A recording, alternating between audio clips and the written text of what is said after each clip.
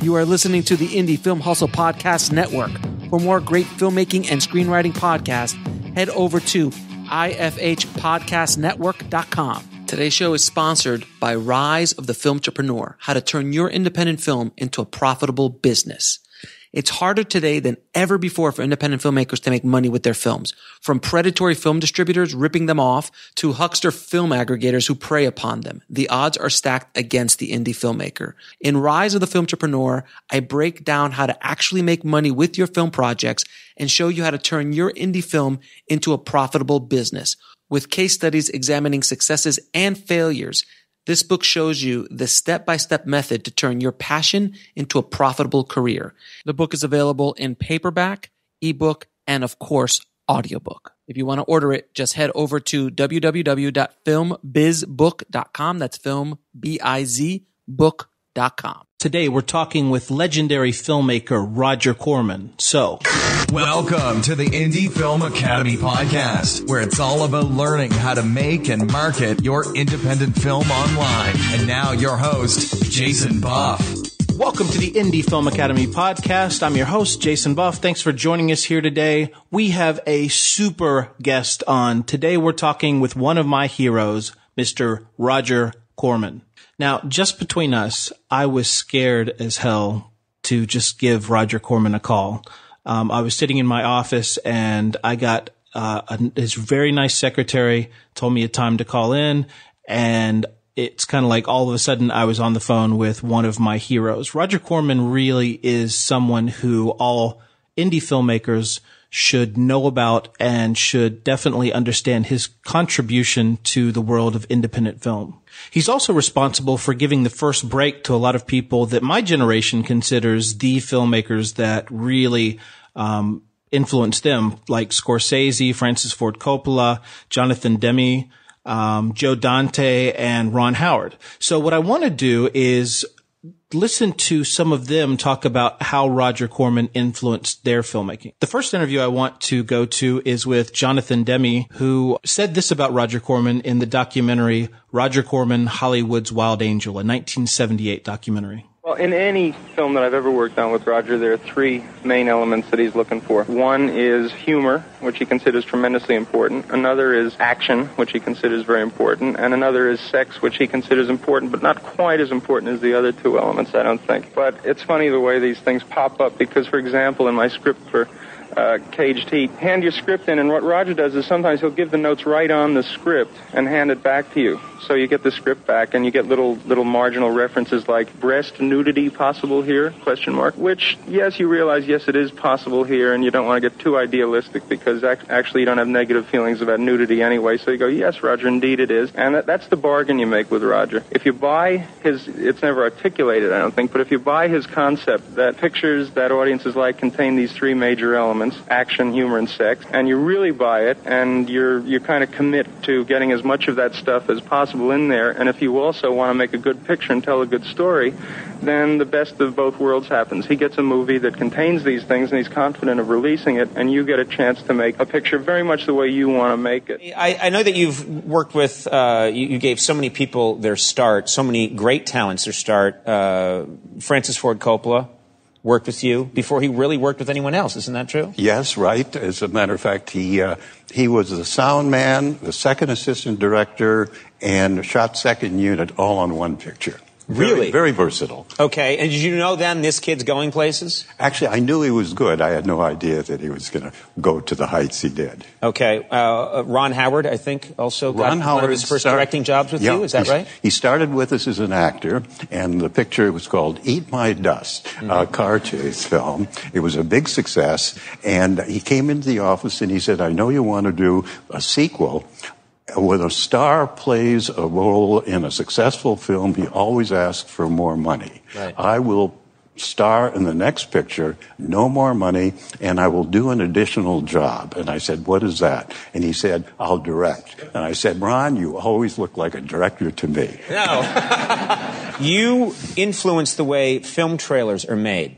I think many people, especially young people, think that film trailers have always uh, been uh, similar. But no, you really changed the way they were made with a certain innovation. What is it you did? Well, it was uh, Joe Dante who went on to become a very uh, well-known, successful director who started cutting trailers for us.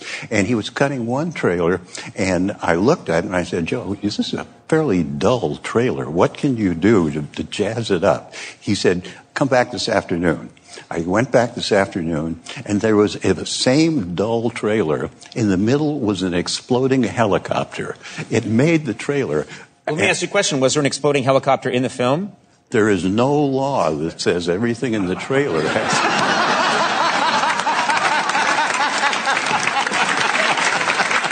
That's the balls, man. That was incredible. So, I mean, what isn't? What this show would be jazzed up by a, a, helicopter crash occasionally. You know, that's the kind of thing that would help a talk show. You know, they should do it everywhere. We could give you the stock footage. You Would could, you charge me for it? Very little. uh, you've got great t- titles, great titles for your films. One of my favorites, "Attack of Crab Monsters," yes. and uh, and there's the, of course, the uh, the title for it. As there, so many amazing titles over. The, do you come up with the title first and then decide to shoot the film? How does it work? Sometimes. Um, for instance, Grand Theft Auto, which was Ron Howard's uh, first film as a, as a director, uh, the title came first, but the, oh, the film he did before, Eat My Dust, I've forgotten the title. We were shooting a car chase somewhere out in the San Fernando Valley and dust was flying all over the place. And the director said, we ought to call this picture Eat My Dust. I said, we will. And he said, I'm joking. I said, I'm not joking. That's a great title. So the title came. Now, of course, that was Conan O'Brien. And now here's Ron Howard talking about working with Roger Corman. Several conversations that were really significant during the course of making Grand Theft Auto. First was he sat me down and said, Ron, I'll come visit you on the first day of filming. And if you're productive and uh, you know you're making around 20 setups a day and you're making your days, you you won't see much of me. In all candor, if you're not achieving those those kind of results, you're going to see one hell of a lot of me. That was his little warning. I had a great moment on the Paramount lot. I was finishing up the season of uh, that season of Happy Days, walking along, and um, uh, as soon as hiatus came in March, I was gonna go uh, direct Grand Theft Auto, and Jonathan Demme called me from out out the window uh, at the uh, of his second second uh, story office.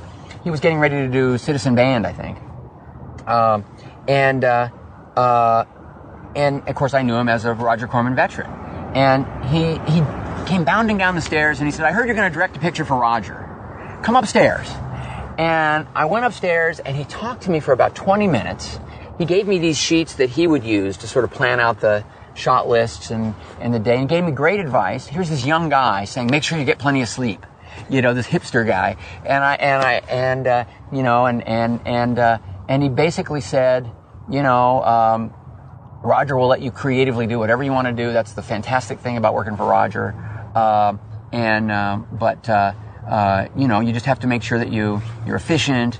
And here's how you do it. And remember to think ahead. And just lots of good fundamentals, but also encouraging me to explore and be creative and really, you know, take advantage of this this opportunity that Roger was was uh, was giving me. I finally carried my end of a great tradition and cast Roger in Apollo 13 he had a, a very nice scene playing a senator with uh, with Tom Hanks, and uh, it was a, a, a, really wonderful day to reconnect with Roger. Have him come. We had the, you know, it was a big day with green screen, and uh, you know, it was we were we were doing visual effect shots, and and it was uh, you know just uh, a plus Hollywood filmmaking. And he just smirked and said, uh, "Well, we could do this for a hell of a lot less," and you know, he could. All right. And now my interview with Roger Corman. Before we go to that, I just want to mention I've put together a Roger Corman board. If you're on Pinterest, go to the Indie Film Academy uh, Pinterest account, and I've got an entire board with all kinds of movies and information about Roger Corman there. So check that out. And here we go. I was watching the documentary um, Corman's World recently. The thing that I thought was very interesting to see was that you're still going down and, and being on the set. Do you find the same excitement being on a set these days? It's always exciting to be on the set. I'm probably not as excited as earlier, but the, the stimulation is still there. After you've done it, I've made around 300 films. There's a certain routine, but there's something always a little bit new. How is the, how have things changed? I mean, now that you are working in the digital world and video on demand and the sci-fi channel have has your system changed and the way that you go about distribution? It's changed a little bit. When you mentioned distribution it's changed for the better in production and it's changed changed at least for those of us working in medium budget and lower budget films. It's changed for the worst in distribution. In production production is easier. The new digital cameras the sound equipment the lighting equipment everything is lighter, more portable, easier to use. So you can shoot more on natural locations and you can shoot faster, more efficiently. So production is better today, the conditions of production. The conditions of distribution, however, are not good for the independents. The major studios today with their $100 million and $200 million budgets and their 30, 40, 50 million dollar marketing campaigns have dominated theatrical to such a, an extent that very few uh, medium or low budget independent uh, pictures get a theatrical distribution. Primarily, we're on uh, DVD, streaming, cable, uh, some broadcast television, and only occasionally in theaters today. Is there a certain period of time that you look back on in your career and kind of reminisce about as being the glory days of filmmaking? Probably for me, the 60s and 70s. The 60s was when I was having uh, most fun and most success as a director. I started directing at around 58 or something like that. First couple of years, you sort of learn what you're doing, and then things started to move for me in the 60s. And in the 70s, I started my own production and distribution company, and I moved from directing to producing and distributing, and that was a whole new world as well. So for that, about a 20 year period, uh, I was probably having uh, the most fun and the most success. Uh, things still work out. I'm still producing, still distributing distributing, but I make fewer films today, and uh, just that. Uh, I make fewer films. Uh, they get a limited distribution, and I'll continue for a few more years. You started out working as a writing notes on screenplays, right? And you eventually did some notes for the gun, the, the gunfighter, gunfighter, right? Yes. Actually, right. I, I started out. I graduated from Stanford with a degree in engineering, and I was a failure of the Stanford engineering class. I got the worst job job of anybody. I got a job as a messenger at Fox for $32.50 a week. and I rode the bike around the studio delivering messages. And then I, I worked fairly hard, did put, did some extra work, and became a reader in the story department, and that was where I uh, I first got a little bit of uh, minor recognition for my work on the gunfighter. I, I didn't like various things that were going on. So uh, I had some uh, college time left on the GI Bill, so I went to Europe, went to Oxford briefly, and then came back and uh, became a literary agent and sold my own script under an assumed name, and took the money from that and uh, uh, started my production company. How did you did you know how it was all going to work and where you were going to sell the film, or did you just kind of go into it like a leap of faith? It was a total leap of faith. I I think back and I wonder how I had the nerve to do it.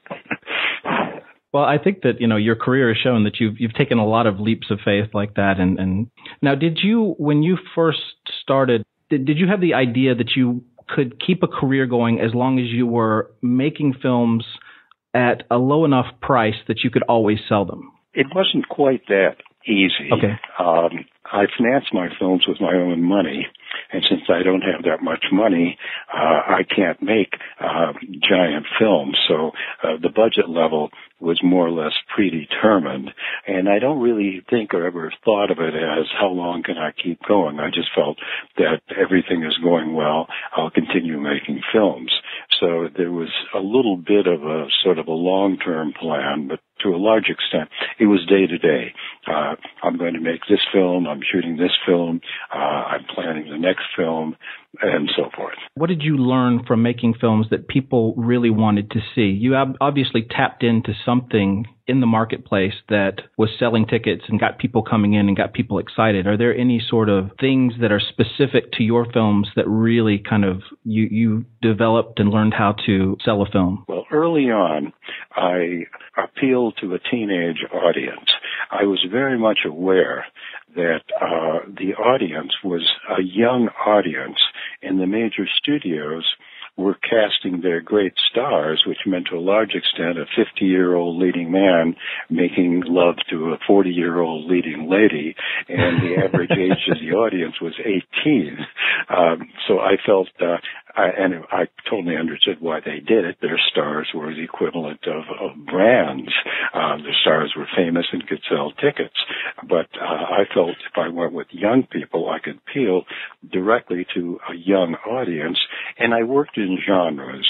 I not always, but generally, I was doing action pictures, horror films, science fiction films, sometimes deliberately straight teenage films, and so forth. Were there any other movies like genre films? They were fairly non-mainstream back in those days. I mean, nowadays it seems like horror movies are very mainstream and, and especially science fiction and everything, especially after Star Wars and all those sorts of movies. But back in, in those days, was it something that was more of like a drive-in movie theater or more like B movies?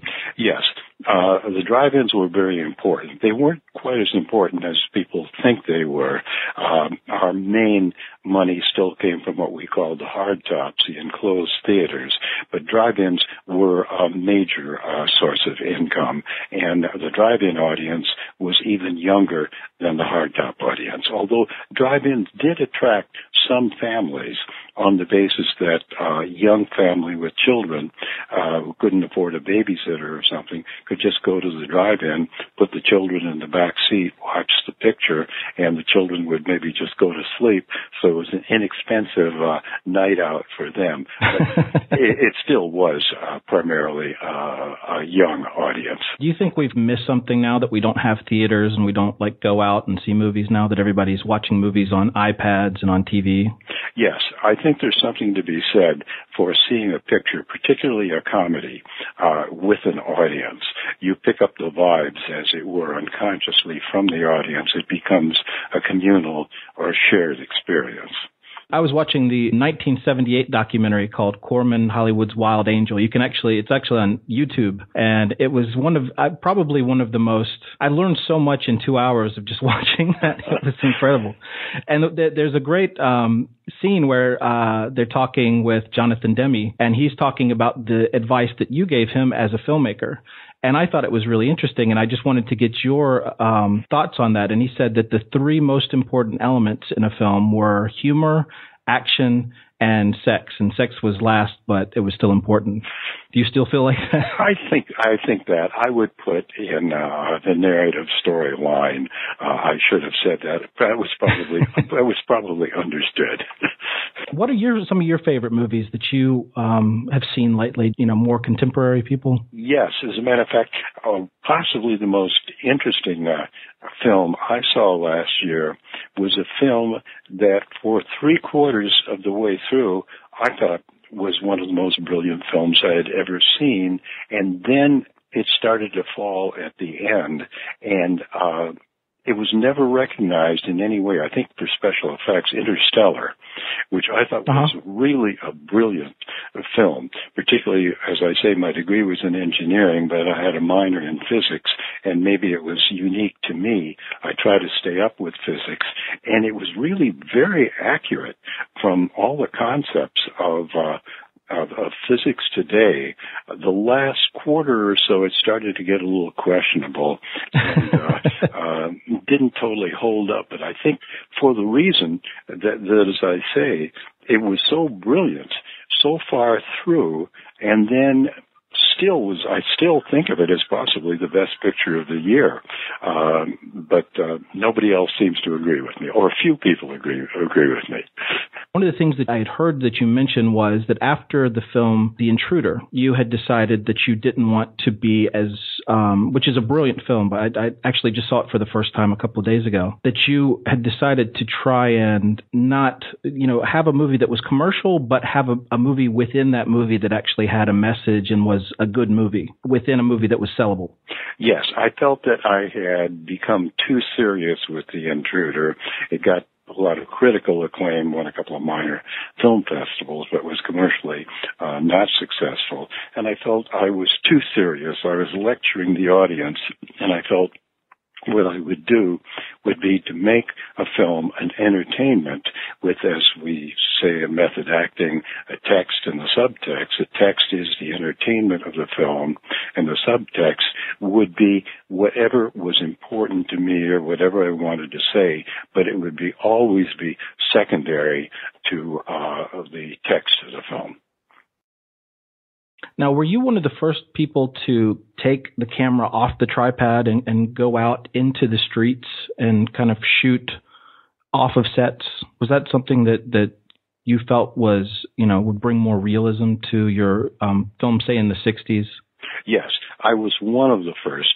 I wouldn't say I was the first. There's, I know, uh, a number of people were doing it before me, but I was one of the first to do it, and I liked that concept very much. I'd been doing uh, my Edgar Allan Poe pictures with Vincent Price, and those were deliberately studio bound. I wanted to have total control of everything within a studio, leaving nothing to chance. And I wanted to, and when I felt I had done enough of those films, uh, I wanted to go completely away from that, go into the streets and shoot the world around me as uh, as I interpreted it during the 60s, which of course was a very volatile de- decade.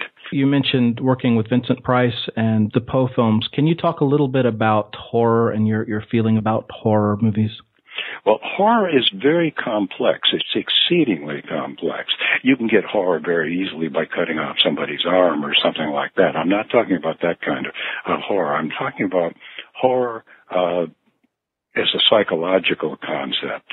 And I think the roots go so deep into a person's individual experience, into the whole experience of humanity, that it's a fascinating genre in which to work. You were distributing a lot of films from foreign filmmakers. I was wondering if you had any favorite filmmakers from that, you know, like Kurosawa or um, Bergman. What what your favorite films were um, from that kind of well, group I, of people? I would pick a few. Uh, some of the filmmakers, uh, Fellini, Bergman, Kurosawa, a number of others. Uh, uh, the first one I had was Cries and Whispers uh, from Bergman, which was, I thought, a brilliant film. Uh, let me see. Uh, Kurosawa's Dersu Uzala, which is an unusual film for him, which won uh, uh, Academy Award Best Foreign Film. Fellini's picture, uh, I've forgotten the, the title of it, uh, but had a film from Fellini uh, that uh, also won the Academy. We won, I think, in a certain number of six or seven years, we won more uh, foreign Academy Awards than everybody else combined. Now, were you were you able to meet with those directors? Did you you know have any relationship with them, and, and did you learn things from them? Yes, I met I met several of them, talked with some several of them. Fellini said you should get out of distributing and go back to directing. I remember that. he said, "Why did you ever leave?" you you've obviously had a great influence on a lot of the the people that my generation considers the best filmmakers of you know the the 70s and the people who really influenced us moving into the the 80s. Now, when I when I watch a movie by you know Martin Scorsese or um, Francis Ford Coppola, do you, when you watch movies that they make, do you see your influence in what they make? I mean, for example, camera movement and you know keeping things going. A little bit, but basically, uh, they are their own people. Uh, they were uh, good before uh, they even met me. They had the talent. I may have taught them a few things, but basically, uh, they're brilliant filmmakers. They would have been brilliant filmmakers if they'd never met me. What do all these people have in common? The, the great filmmakers, the James Camerons, and, and all these guys that you work with. What is there something that you saw in them that just made them great? Well, I've been asked that question before, and I would say there are three things. One, every one of them was intelligent. I've never met uh, a successful writer, producer, or director who's been successful over a long period of time who wasn't intelligent. The second was the ability to work. Making films on, to a certain extent is glamorous and exciting, but also it is very, very hard work. Those two things you can kind of figure out. The third is creativity. They are all creative and that you only learn uh, about a person by working with them. I also watched Death Race 2000, and I was wondering if you, when you watched The Hunger Games, if you had any reaction to that. I definitely had that reaction, both from Death Race and its follow-up picture, Death Sport. Death Sport, a number of things went wrong. It's not a good picture, but the thoughts in it uh, and uh, uh, Death Race, on the other hand, was a pretty good picture. It won some poll was the greatest B picture of all time.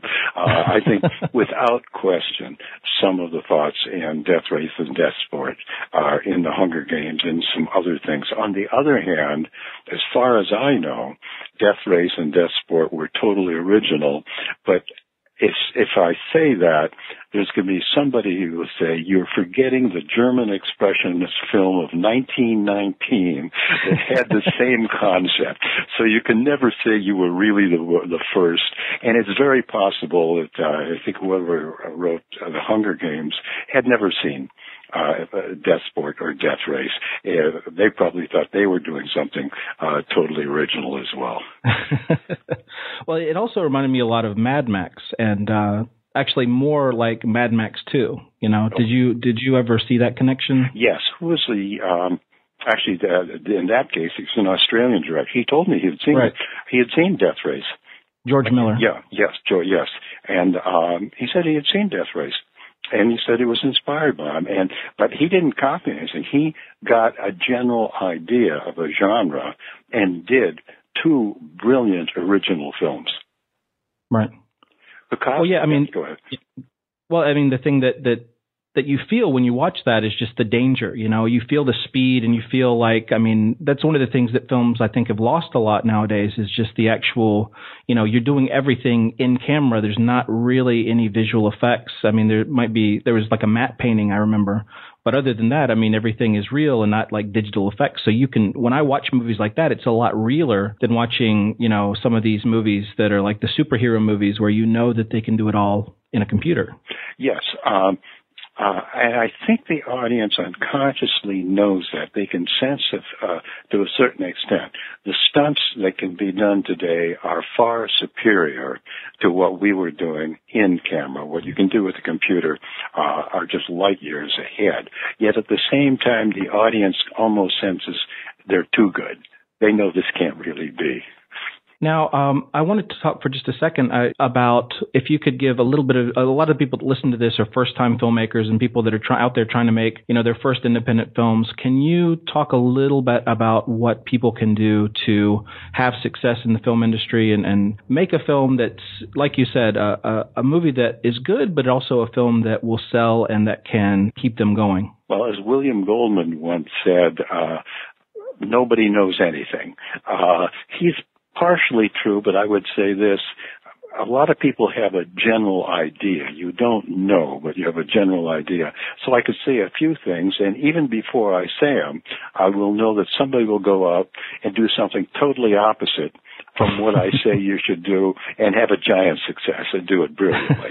so it really depends upon the ability of the filmmaker, but probably uh, to not get into a, a deep, long discussion, the one thing that I would say is most important is preparation, particularly if you have a short schedule or a small budget. You want to do as much of your thinking as you possibly can before you ever appear on the set.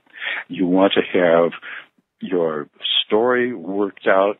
You want to uh, have talked with your actors, worked out the basic um, red line, as Stanislavski said, of the actor's performance.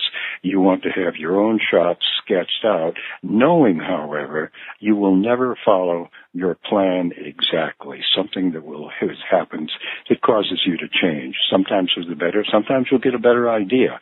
But uh, I put heavy, heavy emphasis on pre-production planning. Is that how you were able to do Little Shop of Horrors in two days? Yes, we rehearsed three days. I, what happened? Uh, a studio had these sets. Uh, they, we just shot on sets that were there. That's the reason I made the picture. And um, I knew that if, uh, the Screen Actors Guild at that time, I think it's still this way. Uh, hiring an actor for five days for a week is not much more expensive than hiring. a matter of fact, it's about as expensive it was to hire an actor for a week as for three days on a daily rate. So I hired all the actors for a week. We rehearsed three days and then went in and shot for two days, having worked everything out in the first three. I actually I have to ask you this now. I know that you you're a fan of Stanley Kubrick, right? Yes. I, I was wondering how you did you feel about The Shining when you saw that, and did you talk to Jack Nicholson about that after? I did. I thought The Shining. I think uh, uh, Kubrick is one of the, the great, great directors, and I think The Shining is one of his best films. I'm not certain okay. it's his best film, but it's one of his best films. So I have total admiration for Stanley and for that picture. And Jack was brilliant in it. I do have one story that Jack told me. Uh, when we were working, people used to say I printed the first take. I seldom did, but I print generally the second or third take or something like that. Stanley is famous for shooting and shooting and shooting. He went over a hundred takes on one shot with Jack, and Jack is a good guy. He stood there and he went until Stanley printed, you know, the 112th or 113th take. And when he was finished, he went over to Stanley and said, Stanley, I'm with you all the way, but you have to know I generally peak around the 70th or 80th take. Did you ever have a chance to meet uh, Stanley Kubrick? I met him once, just talked to him briefly early in his career. He had done his first film was um, a crime story built around a racetrack. And um, it was a medium, low budget film. And uh, I remember it was after he had done that. And I was just talking to him, and I said, "This is one of the best, if not the best, first films I've ever seen. And it was clear from there that he was going to, to have a brilliant career. Was that The Killers? Yes, that's what, it that? was. I had Okay. forgotten. Right. That had a brilliant ending too, with the the suitcase and the money flying out of it and everything. Yes. I always end my my um, interviews with two questions. One is, do you have a resource like a book or something that's been very influential to your life, or or something that you can re- recommend to filmmakers? Well, I'll give you an answer that doesn't uh, apply exactly. The most influential book to me was when I was in college studying math and I studied calculus. Uh, the whole concept of calculus, which is to a certain extent could be described as the mathematics of movement, uh, the problems of calculus, well, I guess I won't get into all of that. Calculus, the, the problem and the solving of the problem, I thought was so brilliant and such uh, an example of what the creative mind can do that that's probably influenced me more than any other book. If you could go back in time and talk to yourself when you were 20 years old, what advice would you have for yourself? I would probably say at the age of 20 to try to get as broad and varied an education as you possibly can. Uh, I think the fact that um, I majored in engineering caused me to specialize too much in a certain branch of knowledge, whereas a liberal education encompassing literature, art, philosophy, economics, psychology, all of that is the best preparation for a full life, whether professionally or personally. did you follow that because you felt like you had to have something to kind of fall back on and to have a career? Well, my Or- father was an engineer, and I simply started off to follow his in, in his footsteps. And it wasn't until uh, I became the film critic of the Stanford Daily and uh, started analyzing films that I realized this is what I I wanted to do. But uh, I'd spent four years uh, studying engineering. did you ever use any of that knowledge for, for filmmaking? Well, as I say, going back to calculus, I use some of the knowledge, but I also use some of the way in which you think as an engineer or a physicist or a mathematician. There's a thought process of problem solving, which can be very creative and very satisfying and very useful at the same time. Well, I, I really appreciate you, you know, taking the time and, and talking with me. Very good. I thank you. All right, that's going to do it for today. I want to thank my guest, Mr. Roger Corman, for coming on the show, and we'll be back next Tuesday. Thanks a lot. Thanks for listening to the Indie Film Academy podcast. Don't forget to join our newsletter for more tips and tricks on how to make and market your film online. Go to www.indiefilmacademy.com.